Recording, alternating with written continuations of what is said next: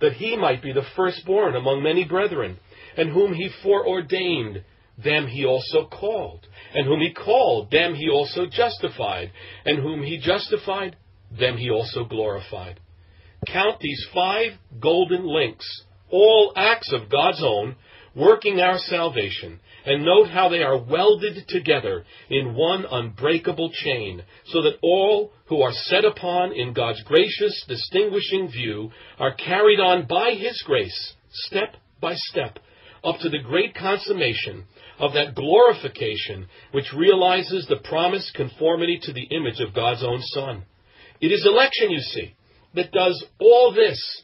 For whom he foreknew, them he also glorified. That fine old divine to whom we have just referred tells us further that, quote, election, having once pitched upon a man, will find him out and call him home, wherever he be.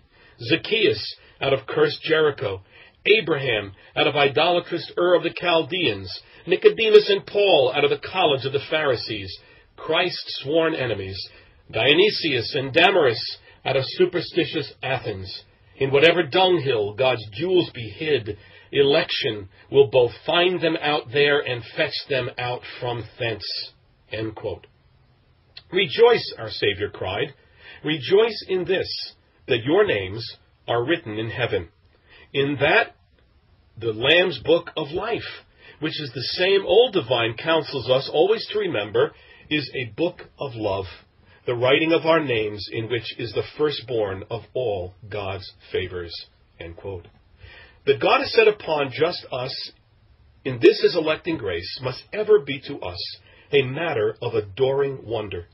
Certain it is that there was nothing in us, whether quality or deed, which could attract his favorable notice, much less make him partial to us. And moreover, there was no respect of persons with God. We were dead dead in trespasses and sins, even as others, and therefore the children of wrath, even as they. For the wrath of God is revealed from heaven against all ungodliness and unrighteousness of men, and surely there's been enough ungodliness and unrighteousness in us, that God has chosen just us from among our fellows to be saved from this wrath, 1 Thessalonians 5 9, finds no explanation in us. We can only say, Yea, Father, for so it was well pleasing in thy sight. It is all hung upon his mere good pleasure, and he has given us this unspeakable blessing for no other reason than that he has chosen to give it to us in the unsearchable counsels of his own gracious will. For as our old fine divine reminds us, we are predestined after the counsel of his own will, not after the good inclinations of ours. We have no good inclinations of will. Men dead in trespasses and sins have no good inclinations. All that is good in us, in the inclinations of our wills as in the conduct of our lives, is from Him, the product of His electing grace, and thus cannot be its cause. It is only because God has set upon us in His inexplicable love, and has predestined us to be conformed to the image of His Son, that through His calling and justifying and sanctifying grace, all in execution of his gracious election, any good is formed in us. It is not of works, says Paul, that we are saved, but for good works.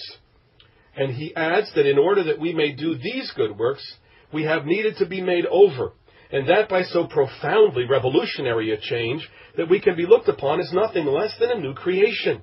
For we are his workmanship, created in Christ Jesus for good works, the good works which God has afore prepared that we should walk in them. The very good works which we do then have been prepared for us by God in His electing grace that we should walk in them. We are not chosen because we are good. We are chosen that we may be good. That is precisely what we are elected to.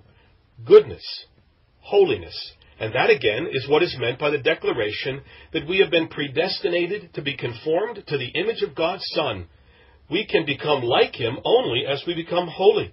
Accordingly, we are told, with the richest fullness of expression in Ephesians 1 3 and following, that God chose us in Christ before the foundation of the world that we should be holy and without blemish before Him. Having foreordained us unto adoption as sons through Jesus Christ unto himself, according to the good pleasure of his will, to the praise of the glory of his grace. It is all here. The rooting of all our goodness in the elective decree of God, and the rooting of that decree in God's mere good pleasure. Everything else hangs on election, election itself on God alone.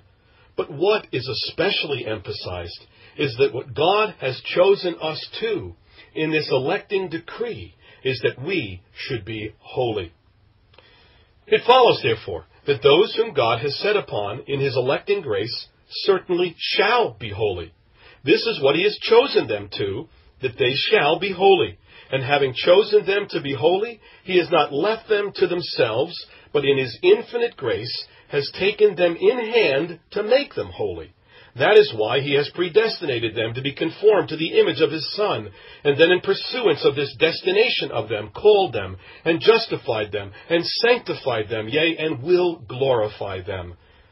These are the several processes through which he frames them into the holiness to which he has chosen them. They are not shallow processes, moving only on the surface and depending on our independent cooperation to produce their effects, and therefore liable to fail because of our weaknesses and sins.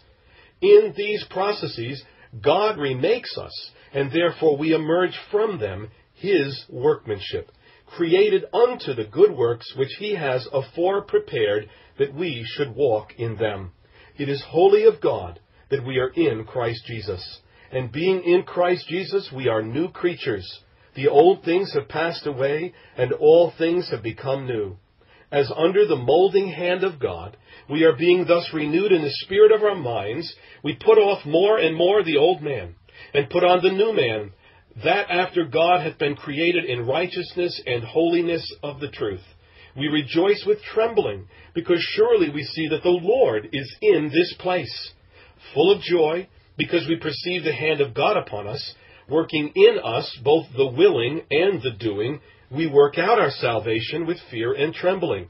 That is to say, not with hesitation and doubt, lest it may not be real, but with overmastering awe that it should be so with us, that God should be the impulsive cause of all of both our willing and doing. It is precisely in this that we have the salvation of our God. For it is in this that the salvation to which we have been chosen consists, that we should be God's workmanship, created unto the good works which God has afore prepared that we should walk in them, that we should be holy, that we should be conformed to the image of God's Son. Of course, when we, when we are like Christ, we are saved men. Certainly, we do not yet see all that is included in this high destiny, but we already know that when He shall be manifested, we shall be like Him. And having this hope in us, we purify ourselves even as He is pure. Our eyes are set on the goal, and we run with steadfastness the race that is set before us, looking unto Jesus, the author and perfecter of our faith. Looking unto him, not only as he who has framed the faith in us by which we live in him, and who will perfect it to the end, but also as the model to which we shall be conformed. For what we shall attain to in this salvation is nothing less than the glory of our Lord Jesus Christ. The glory that He has shall be ours, and the way we shall attain to it is in the sanctification of the Spirit and belief of the truth. For this, says Paul, is what God chose us to from the beginning salvation, in sanctification of the Spirit and belief of the truth. And to this, he adds, God also called us to the obtaining of the glory of our Lord Jesus Christ. All that is contained in this glory which Christ possesses and which we shall in him obtain, who can tell? No doubt we must cast our eyes forward to the world to come to see it all. When we shall be manifested, we shall be like him. But when we obtain it all, it is still the salvation to which God chose us from the beginning in sanctification of the Spirit and belief of the truth. These are the means through which that is reached. Clearly, God has not chosen us to sloth. The salvation to which He has chosen us is a salvation in sanctification of the Spirit and belief of the truth. We've not been chosen to any salvation which does not stand in sanctification by the Spirit and faith in the truth. If we do not believe the truth, if we are not being sanctified by the Spirit, we have been, we have been chosen to no salvation. What we have been chosen to is that we should be holy and without blemish before God. We cannot profess to be chosen of God then unless we are becoming holy and without blemish before Him. It is not possible that there should be an elect race which is not also a holy nation a holy nation which shows forth the excellencies of him who has called us out of darkness into his marvelous light. Seeing that predestination is conformity to the image of God's Son, we are not predestinated unless we are being conformed to the image of God's Son. Unless we are like Christ, we cannot share in his glory. It is idle then to dream profanely that being elected to bliss we may be careless of good works. Precisely what God has prepared for his elect is good works, that they shall walk in them, whereunto in his grace he has created them. Precisely what he requires of them who believe his gracious assurances is therefore that they be careful to maintain good works, in order that they may give a good account of themselves in the world. Titus 3:8. Faith and good works are the characteristics of God's elect. And where faith and good works are not, there are no elect. There is no election then to the rewards of glory, which does not include in itself, as the indispensable means to this end, election to the works of grace.